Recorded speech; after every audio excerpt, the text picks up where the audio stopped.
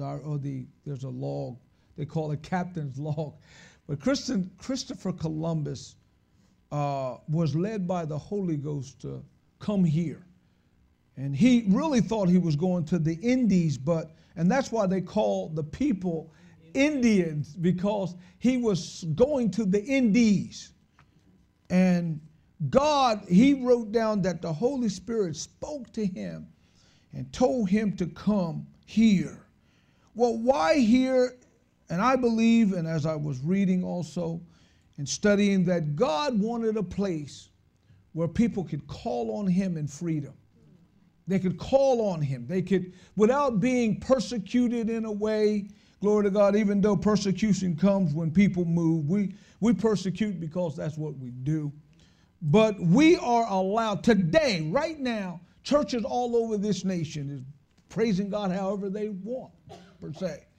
But I believe, glory to God, as time progressed, there, the, the devil is starting to put us under pressure. I believe even with this last law that was passed with the, the uh, same sex marriages, uh, we haven't seen it in the camp yet, but I believe it will come that if a person want to get married and you opt not to perform the ceremony, you could be violating the law. Amen. But I believe that today God is putting us in a position where we got to select who we're going to serve. Amen. I, I, I honestly believe in my spirit that we're, we're, we're so busy trying to accomplish life. We go to work. Lord knows I, I'd be a workaholic or was. I do what I do, but we, we put so many things before God. There was a time, uh, and, and it was in my lifetime, that you didn't do stuff on Sunday. You, you didn't, matter of fact, I can go back and I'm, I'm just hit that 65 mark, but I can remember that stores were closed on Sunday. You, you, everybody shut down. Except for your, and hospitals worked on a limited crew. You know, they cut the crew back. But now everything's open. You buy as much liquor now as you could buy on Saturday. Wing shops are open because football is, has taken precedence. Sports has taken precedence. Baseball. Our kids now play sports on Sunday. There was a time we shut her down, man, because there was a respect for God. People understood that there was a God, even though we changed the day. Uh, the day was Saturday, was the Sabbath. And the Jews locked everything down from Friday night to Saturday evening. You didn't do nothing, you shut her down. You didn't even start your car. Well, that was kindling a fire, uh, for those that didn't know. But now, glory, it's, it's, it, it's so unique for us to even give God a couple of hours. We, we're, we're in a position that I think that we forgot that God is more than able. He's a God that can do whatever has to be done when it has to be done. There was a time that whenever, when you moved out of your house, everything in the house moved. Uh, y'all, Nobody stayed home. Everybody got up. From the head to the tail, everybody got. I they even brought the cat and the dog to church. Everything came. But now I don't feel like going, so you leave them home. But I want to let you know that you might not see them in glory. I'm going to preach today. I don't even need your help here.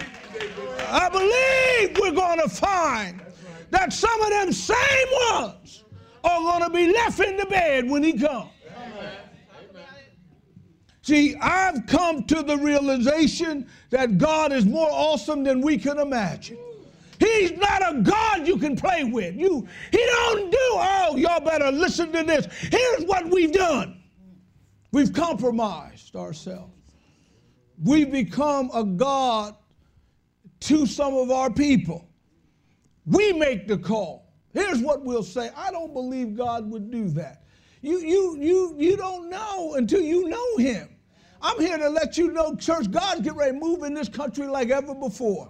Because He will show Himself God irregardless. I, I was doing some study, and, and, and, and as I was going through Matthew, Mark, Luke, John, and I go through it, and if you notice, in Matthew, Mark, Luke, John, the devil did not, glory to God, when God cast him out, he could not rebel against God. I'm going to show you what I'm talking. He, not, he couldn't tell God, no, I ain't leaving. When God, when Jesus said, and, and if you read 14th chapter, matter of fact, turn there if you will. Turn there, 14th chapter of the book of St. Matthew.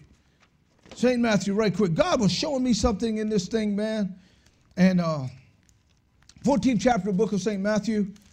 If you got it, go 14 and, oh, I marked it. 14. When you have it, tell me you got 14th chapter at least. Yeah, Go right about the 14th verse. 14 and uh, 14, 14. That's a good, that's a good year. Don't play that number, it might not come up. Look at this here, 14, 14. And when Jesus came out, he saw a great multitude. Look at this. See this? A multitude. And he was moved with compassion for them and healed their sick. Now, I want to show you something here. He has compassion. God bless us. Thank God for compassion. I, I, I was going over, uh, I went back over the law against, and most of us wouldn't even be here today under the law. We, we wouldn't glory to God because the, the law would, But thank God, thank God we're not under the law. Because the law, the law, only thing the law could do was bring death. That's all it did. It showed you you were wrong and you would be executed or pro- prosecuted by that law. And, and I know, glory to God, that uh, some of the things I did back then, I would be gone, man. I would not be here today. But thank God for grace. Yeah. Thank God for Jesus. But he also, as he was showing me, Jesus was showing, glory to God, that he healed.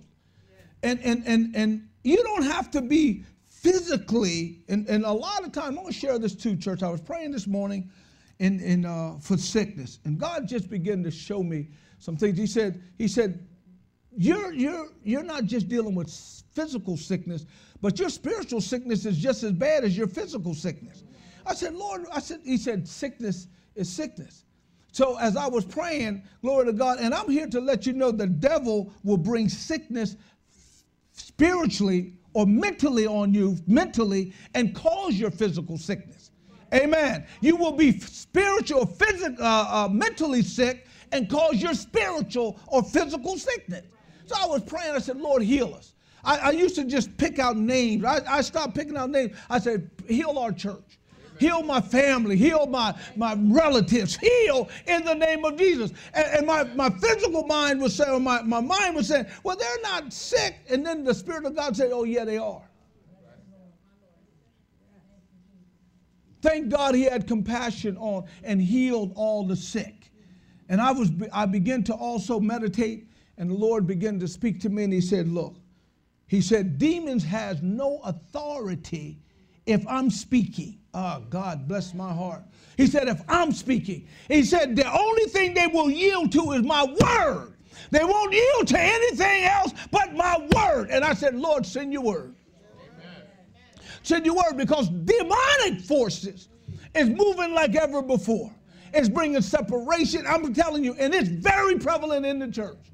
Because the church, as much as we should be coming together, we still have our doctrinal dogmas and we're beating one another up with it. This uh, last week, a week before last, you know, we were supposed to have been at the end. And I'm going to tell you what, glory to God, a lot of people was afraid. They were. They, not, on that 23rd of September, a lot of people said, man, he could be coming back. Well, I'm going to tell you what, he could come back for you today. He, he, he's coming back. Oh, he's coming back. You don't, Paul said in the book of Thessalonians 1 5, here's what he said. He said, You have no need that I write unto you, brother. You don't need to know. There's, that's one thing that between God and when he closed the book on the Gentile or the church dispensation. But other than that, he coming back for you, man. Oh, he's coming back. So you got to be ready for you to go. You know, we're, we're so concerned, and, and it is, it's good to be concerned, but you better be more concerned about you. Oh, he's going to come back for the world. He's coming back for you. Are you ready to go? See, we, we're so concerned about individuals, but you're the individual that need to be concerned about you. And when you take your attention off of you, you're so busy looking at everybody else. Glory to God, you'll lose, glory to God, because what you'll find is you're the one in need of prayer. One of the hardest things I dealt with as a as a pastor and as a as a brother, as an older brother, and as a person. I'm so much so much concerned about everybody else that I lost concern about me. Well, I'm here to let you know I'm concerned about me. Go, oh, glory to God, it's about me. Somebody said, well, you selfish. I'm, I'm not, I'm selfish at this point. I gotta go. Look, you do what you do. Some people said, you know, well, well, you know, the some people have a uniqueness about them. You ain't gonna change that uniqueness. God began to also share with me, praise God. We can talk a lot, but you better start praying more. You can talk, you, ah, you're talking about this one. Stop talking and start praying, because you ain't gonna change it. Oh, that, oh, that one, that one, oh, that one. You better pr- see because prayer changes, not talk. I guarantee you, glory to God, I guarantee you, and I know that be the truth. You know, we, we're if you can't help the situation, if you if you're so concerned, running your mouth about it, then get in there and help it and try to work with it.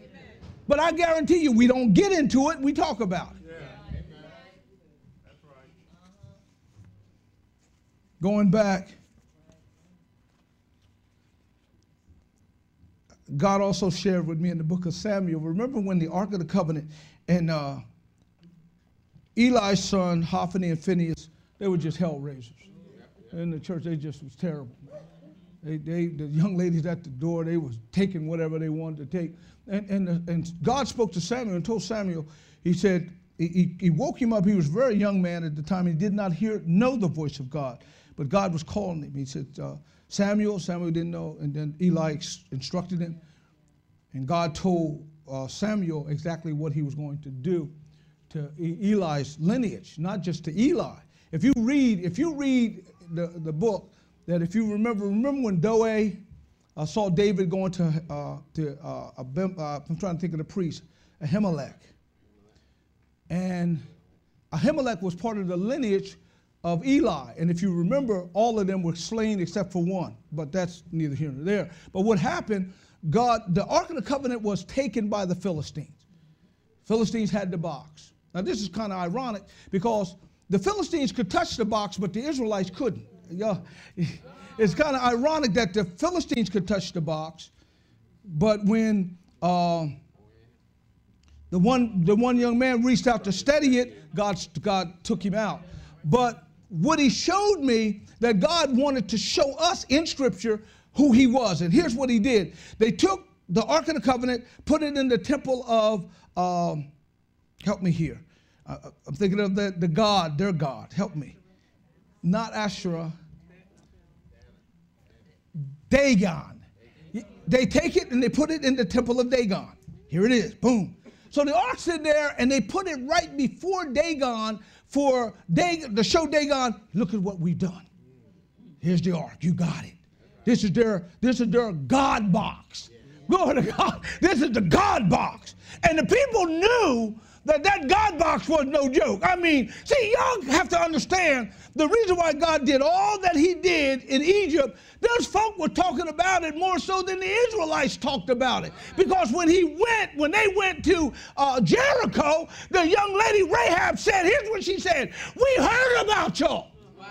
Yeah. Oh, we heard how that God opened up the Red Sea and how you marched across on dry land and everything he wanted done was done. So I'm telling you here, people have already heard about you.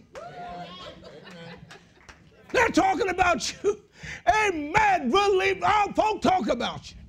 Lord knows they talk about me. Ah, whatever. And, and, and so when they put that ark and they came back, Dagon was laid out, broke, broke down. He laid out there, hands broke off. He laid there before the ark. So they took and stuck him back up. I, I like what I like what uh, the prophet uh, Eli- Isaiah says.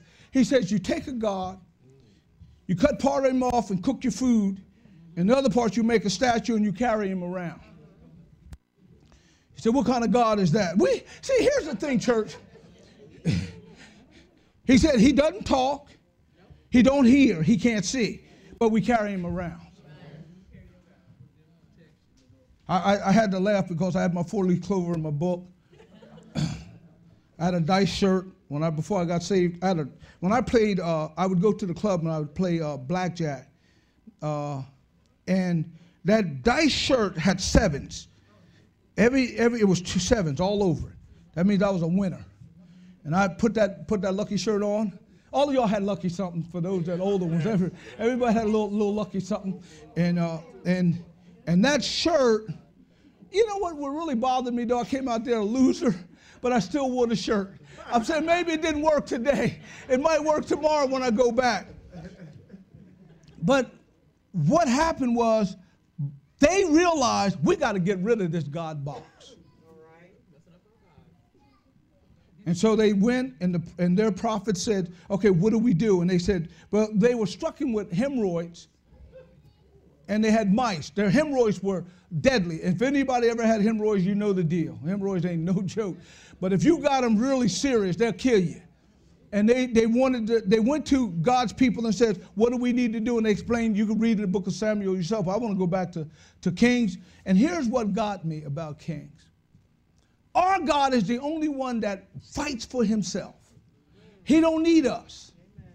You have never, church, I'm going to tell you, over my longevity, I've never seen this thing with the Exodus. It's alive from the pits of hell. Let me show you something.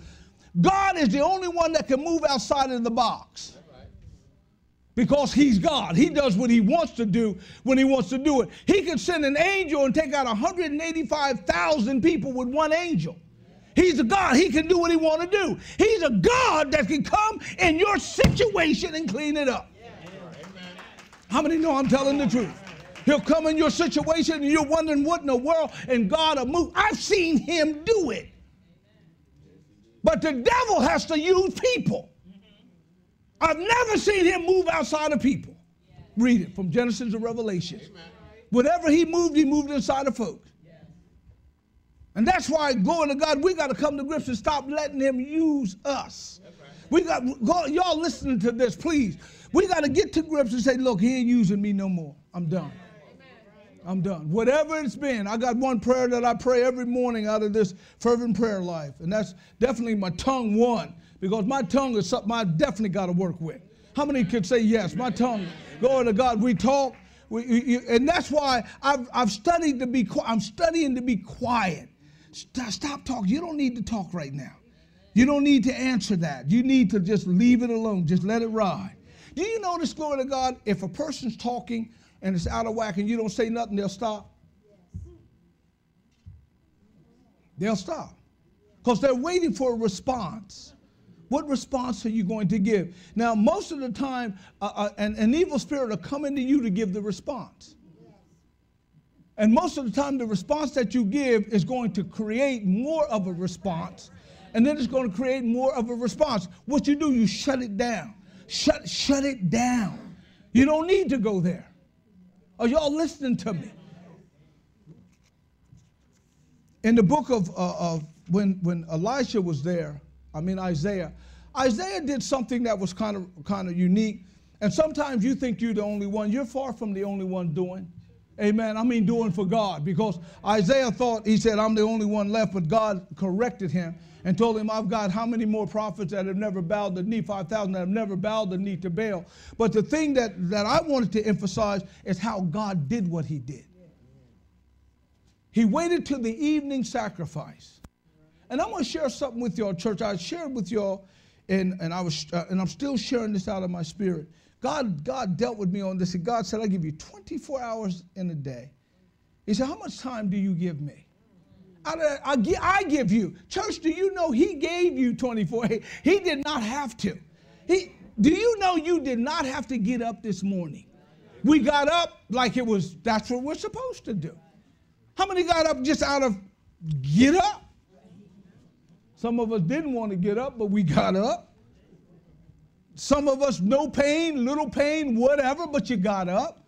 We, we expected, I really expected, when I started that old Mercedes and that diesel turned over, I expected to put that joker in drive and it take off. I expected that joker to stay on the road. I wasn't looking at ball joints. I wasn't looking at the front end. I wasn't thinking about one tire blowing out. I was doing my 50 miles an hour. Glory to God. Uh, down Delsea Drive. I never thought about the steering axle. I never thought about none of that. All I knew, I was going to come right here. I'm driving that car. I didn't look at no blow, blowouts, no nothing. How many times do we get up and we do it out of habit thinking we're supposed to be there? I'm going because I'm supposed to go. You know the trust, oh God, the trust I put in my vehicle, sometimes more than the trust I put in God. That vehicle just running, I put all my trust, I put my life. Do you know how many of y'all have sat in the car with people and you put all your trust, you put your life in their hands? How many have done it? You just you ain't thinking if they're sleepy. You don't know what they took. You don't even, really, you don't even care. You just ride, sitting there. How many of you ever rode with somebody you ain't even thinking? You've even rode with folk drunk. They just as high as a kite, you sitting in there, riding with them, laughing, passing the bottle, and expecting to make it.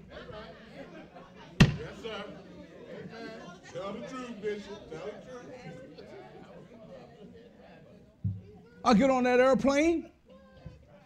I'm talking to Jewel and Deb right now. You get on the airplane. You don't know what that pilot done took. You don't know what he, who, he's, who he is. You don't even know he's about ready to kill somebody. Like that one flew into that mountain. He didn't, you, you know, you just trust these individuals. I walk, glory to God. I'll be yesterday, uh, Ed, thank God, Ed and Belinda told John to kind of walk me and my wife to our car because we was in a part of Philadelphia that could be crazy. And uh, I was walking, and all of a sudden, and here, church, I'm going to show you something. Fear began to sneak. I'm like, wait a minute. I'm not far from Drexel University. I'm not you. And, and, and, fear, fear is sneaky. In a, in a back door you. How many of you ever had fear back door you? Fear just jumps on you. I said, you're a liar from the pits of hell. God has not given me a spirit of fear, but a power, love, and a sound mind. I begin to think about, oh, glory to God. Church, I'm telling you, my mind had to change. I told Cynthia, lock the doors. Somebody might try to get in. I'm gonna tell you what, we got crazy folk in Glassboro, Franklinville, crazy folk, glory to God, in Sicklerville. We got crazy folk all over. What stops? Oh, glory to God is the hand of God over my life. God has protected me because that's what He does. I was, I was looking at this, and when that man, and I can imagine, church, sometimes you, you're going to be by yourself on your call. You're going to be the one that have to make the call. And you're going to have to stand on flat footed ground and say, Lord, I'm going, to, I'm going to serve you irregardless. And it's time that we start encouraging our homes, encouraging folk. You got to start thinking about God in your life. Because I want to tell you something, church. I want to tell you something. This is, this is right off the press. Isn't it ironic that God has blessed us, new life? I was thinking, I was laying there a couple of nights ago and thinking how God has blessed us. Young people are dying all around us, getting shot. And God has kept our church. Amen. Our young people are still good. I mean, I'm listening to young people dying in accidents and different ones, and look at our people. God has blessed us. Yo, y'all listening to me. Amen. But if the hand pass over my house, am I going to be okay? See, listen, y'all looking at me like, well, do you know, did, do you really know time is moving on and things are going to happen? They're happening. Mama, how long, I look thinking about mama, thinking about myself, how long are we going to be here? When we leave, how you going to handle it? When different ones leave, how you going to handle it? Are you going to still be okay? Are you going to be able to go on and, and stop uh, or, or accuse God of what He's done because you don't know Him? When rough stuff happens, we start blaming God because you have no connection, or the little connection you have is weak. Oh Lord, what am I going? When you start using the expression, what am I going to do now? That means you got a weak God in your life. Because you got to know what you're going to do. You got to know in the God who you're going to serve. I don't know what I'm going to do for this one, or I don't know what I'm going to do. Well, let me tell you something. I'll tell you what I'm going to do. I got to trust God. Regardless of what it looks like, I got to trust God. Regardless of what they say, I got to trust Him. Why? Because He's the only one I can trust. Love and trust my wife, but I'm going to tell you something. Glory to God, I can only lean on her for so long. Oh my God. Yeah, I am concerned about it because y'all are concerned about it. I got to be concerned because y'all are concerned. In the close of this, this part portion of my, my message, I've made a quality decision, and I, it behooves you. Don't halter between two opinions. Choose God. And stop. Church, I'm going to tell you, here's one thing that God laid in my spirit. He laid this in my spirit as strong as I can get it. He's moving you, but you got to get serious about you. No, I'm talking about you. you. We're so concerned about other folks. No, get serious about you and your relationship. You know, we, we are concerned, we're concerned about you and our church, but let me tell you something. If this church was to, if y'all was to tell me I can't come here again, I'm still good. Y- y'all hear me? If I would, and thank God I don't have to be concerned about losing a job because God just blessed me with jobs as I went through. But if I didn't have a job, or if, if Uncle Sam go under, glory to God, three of my checks are gone. But if Uncle Sam go under, y'all under two with me. So guess what? I know Elder Alexander and a lot of you social workers, a lot of you folk dealing with a social security check, y'all, we all gonna be laying here on the altar talking about, do come now, Lord Jesus. Am I right, D? Do come now, Lord Jesus. Because the mailman sure enough didn't come. You, you better come because the mailman ain't come. Amen. yeah, pray for me. We had we had given a challenge. We had given a challenge, and uh, I told y'all God spoke to me. Just I mean, just as plain. And and when He told me this, and it made all the sense in the world. He said, "You don't hear me. You didn't hear me because of your distractions." And we got so many distractions. My sister, I, I thought about TV. I cut TV off. But, you know, you got to do what you got to do. If, you know, your stories are your stories. You do what you do. And if you can hear God in it, if somebody's talking God in it, you're good. My sister talked about the phone and the Candy Crush and everything. I got I about five people asked me to, uh, invited me to Candy Crush. I don't know what it is, nor do I have a crush on it. So, and really don't care to. Because here's what I do know whatever the devil can use to distract your time, he's going to do it. He don't want you. He do not want you in the word. He does not want you in the word. Stand to your feet if you will. Those that want to touch and agree with me, I've, I'm in a place. I want you. How many can say I'm in a place where God? I want to hear His voice. I told y'all I want to.